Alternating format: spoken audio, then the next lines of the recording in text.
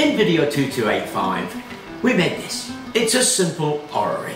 Now it was a lot of fun to make and we used the Bambu Lab 3D printer and the Xtool P2 CO2 laser to cut the various parts. We used the laser on the flat parts and the printer on the twiddly roundy bits. And the laser really was astonishing. It was fast, it was accurate, it was clean, it was a beautiful job. And it inspired me to want to do something that was much more complicated and would use more of the laser's advantages. And I decided on the Antikythera.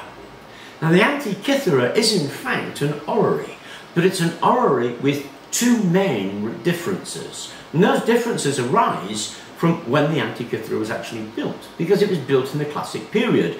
Arguments are around it saying somewhere between sort of 150 BC and 87 BC, because it was discovered in 1901 off the island of Antikythera in a shipwreck and it's been a mystery ever since. The first difference is it's not heliocentric. Heliocentric is where we understand the solar system as the sun being at the centre and of course that creates nice almost circular orbits of the planets and orreries model that using circular gears. In ancient times it was thought that the earth was the centre and that geocentric view leads to some weird wobbling of the planets and that wobbling is called an epicycle.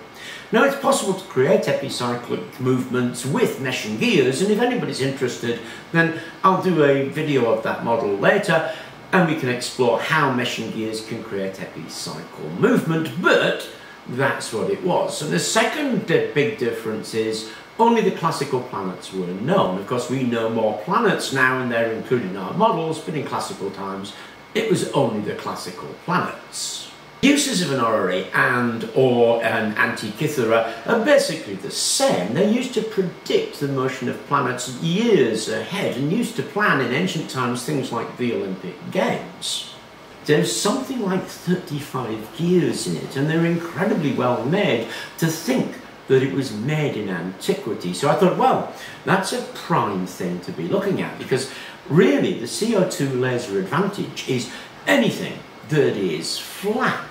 Of course, if you can cut it on a CO2 laser, you can print it, although the reverse is not necessarily true. So although I plan to cut it on the laser, the files will be in STL format, so if you do want to print it, well, go right ahead and print it.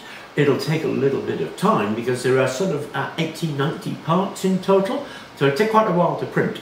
And the expectation is that using the laser, we'll be able to make those gear parts faster and cleaner than we could make them on a 3D printer, at least that's the expectation. Now there has been a lot of research into this, including layer by layer scans of the original find to reveal the details of the intricate mechanism.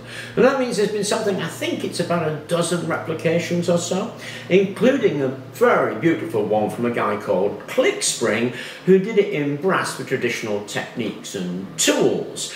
We, of course, have decided to use our laser cutter to create my Antikythera. Now, I understand that's a bit like whipping off the cover and going, ta-da! But to be honest, I just want to show you the Antikythera in this video because I have done a full build video and it's about 20 minutes long or so and the files are available on Thingiverse should anybody want to build one of these. Now, the quick amongst you will notice there's nothing on this top, and that's because, to be honest, I've never used a laser engraver to engrave. I did use it the first time ever to engrave the name of the planet and the symbol of the planet on the various arrows. But I haven't done the ring yet, because I can't really decide. Obviously it needs a date ring covering a year, and then maybe a zodiac, maybe some star sign, something like that. I don't quite know. But I'm going to design a top for that and then laser cut it on, of course, the Xtool P2. So we'll do a little bit of laser cutting. Now to set this up, when you first put these arms on, you put them all pointing in the same direction. I've clearly been playing with this, so they've gone around their circuits doing what they're supposed to do. But to calibrate it for first instance, then you point them all in the same direction, which will be the start of your year. Then when you turn this handle, the gears will move and it will move these arms into their relative positions. So calibrating it is pretty simple. To get it to work, all you have to do is turn this handle. Turning this handle engages that with that gear and you'll notice everything starts to move, which is really cool. So they are moving in the correct relation as if we were looking at them from the Earth. Of course, I've done all these in fluorescent because I just like the way it shines up.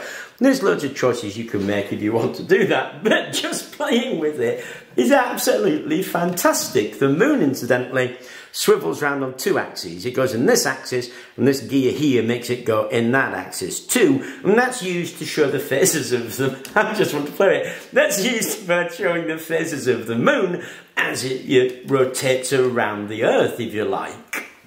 Okay, so this is a lot of fun, and it is a celestial computer. I mean, it's astounding that this was made thousands of years ago, and it's been a fun project, but a challenging project. I don't think I'd have been able to do this if I didn't have that Xtool. I mean, yeah, I probably could, but it would have taken months instead of days, and it did take three days start to finish to do it. The files are available in Thingiverse. The Thingiverse link is in the description at the bottom. There is a full build video coming, so if anybody actually wants to do it, then there's a step-by-step -step build video on how to make this thing. But what an awesome bit of kit. I've really enjoyed it. I hope you've enjoyed this video. I hope you do fancy giving a go and building it. And thank you very much for watching. Please do remember to like and subscribe.